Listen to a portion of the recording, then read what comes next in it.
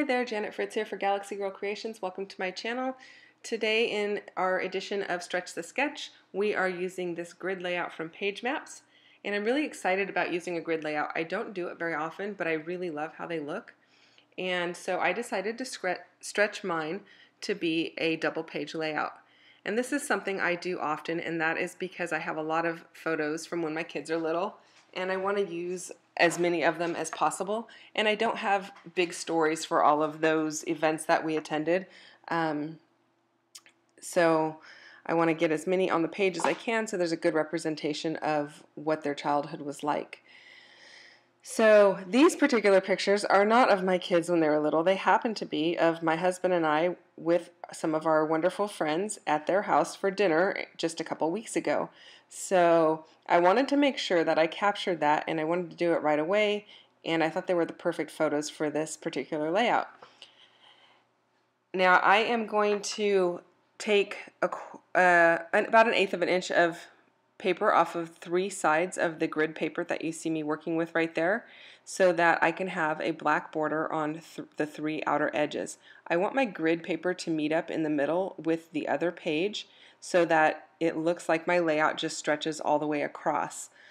I don't want to have a gap in the middle or the black border to separate the two and um, sometimes I will do that but in this case I wanted it to stretch all the way across. And here I am going to go ahead and do the same on the other one, but I put my adhesive down and forgot that I hadn't even cut my paper, and that happens. I was really just not really in my right mind um, when I was working on this, and you'll see that right here when I'm trying to decide where to cut this other floral paper. I'm going to try and cut it in half and I measure it and I then I even pull out my centering ruler and measure it so that I know where the half mark is. I still don't get it perfectly. In the end, I do finally get it right and it looks fine. So this floral paper just came out of my scrap bin and it's been in there for quite a while. I think this came out of an old click kit that I had uh, several from several years ago and the the cards, the Project Life cards, I'm not even sure where I got those. They probably were in one of those same kits um, because it's not something that I would have bought as a kit of Project Life cards. I don't do Project Life um, regularly. I, I might use them pocket pages for a particular trip album or something like that but um, otherwise I don't typically buy Project Life cards. So these came with something and they all seem to match. Um, I don't know that they came all together, but they all seem to match and they all looked really good. I went ahead and took about an eighth of an inch off of all of the sides of those top three cards and then the bottom ones I cut them to match the same size as those photos which are about two inches tall and then about um, four inches across. So I cut them to match and then I backed everything with that black cardstock that I had out of the gutted centers of the border pieces. Now I'm just using this really old washi tape and I'm going to use that as a border around the floral paper and you can see there in the sketch it does have a border below the polka dot paper that stretches across. And I'm my paper, my floral paper is not going to go all the way across the entire 12 by 12.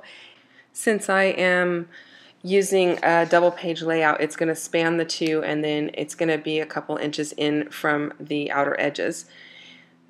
I decided to go ahead and use the black washi tape. It's got a scallop on it and I, I really liked how it looked and I like how it differentiated between the grid paper in the background and the floral paper.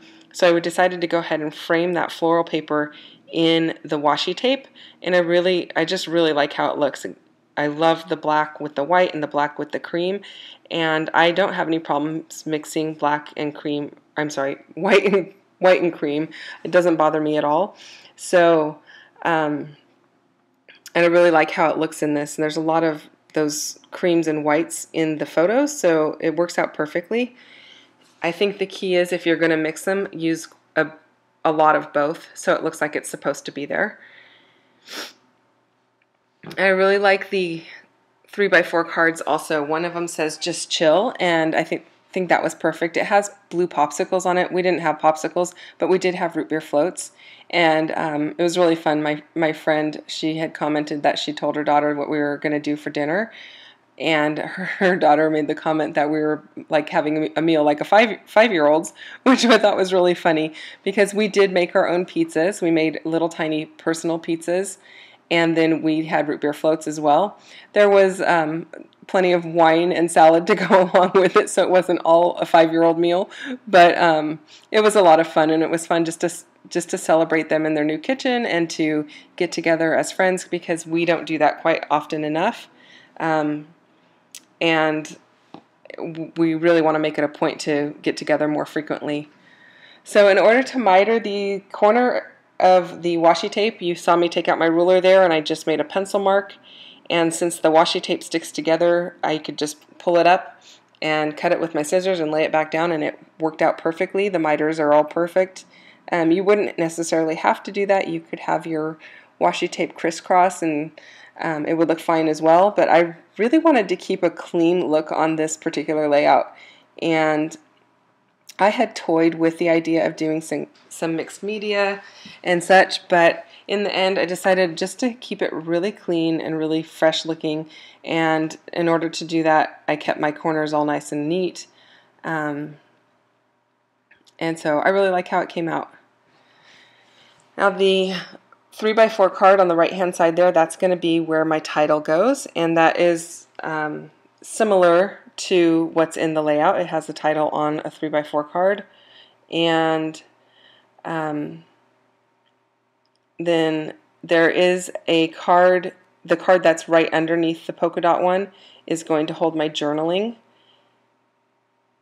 And I don't have a ton of journaling to add to it, so it's perfect. You're going to see I'm going to add lines to it with my pencil and then do my journaling. Oftentimes I don't even make pencil marks for the lines because I'm pretty good about staying straight, but like I said, since this was really like a very clean layout and everything was very straight, um, in fact, the grid paper in the background made it really easy to line up all my cards. Um, I wanted to make sure I was perfectly horizontal in my writing and not sloping off to the, you know, downward or upward.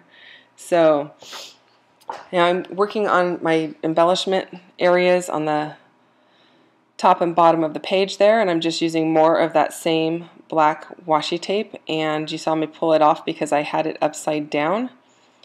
I want the scallops all going towards the inside of the layout for the two embellishments embellishment areas and then for this section of washi that is around all of the the paper that's floral I wanted the scallops going towards the outside